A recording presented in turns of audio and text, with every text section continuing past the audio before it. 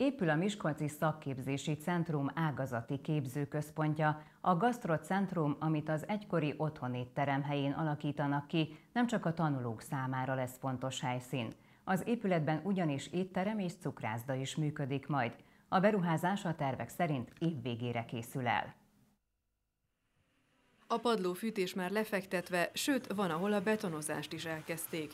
Jól halad a Miskolci Szakképzési Centrum ágazati képzőközpontjának kialakítása.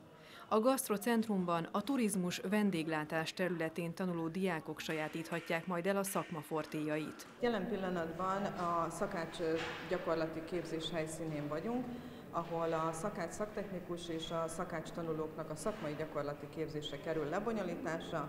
Örömünkre szolgál, hogy a kiállásokat, a pultok kiállásait már lehet látni, és a szemben lévő falon pedig egy demonstrációs helyet ad a szakoktató számára, ahol a gyerekek számára bemutatja a napi gyakorlati munkatevékenységet.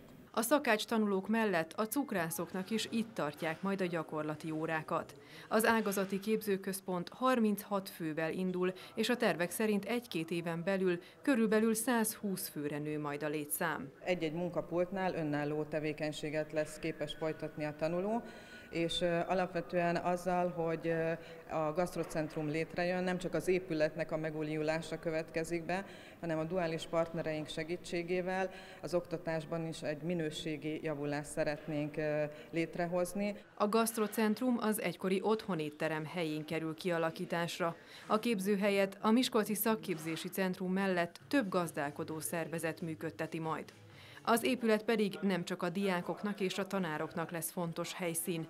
A miskolciak is újra birtokba vehetik majd. Ez az egész beruházás, ez arról szól, hogy úgy tanítjuk meg a gyerekeket a szakmára, szakácsnak, szakácstechnikusnak, vagy cukrásznak, vagy pincérnek, hogy közben ez egy működő hely lesz, és ami azt gondolom, hogy nagyon fontos, hiszen itt a 80-as évekig egy nagyon divatos étterem cukrászda működött, hogy ezt reményeink szerint az év végéig újra tudjuk indítani. Az épületben étterem és cukrászda is működik majd. A beruházás a tervek szerint októberben készül el.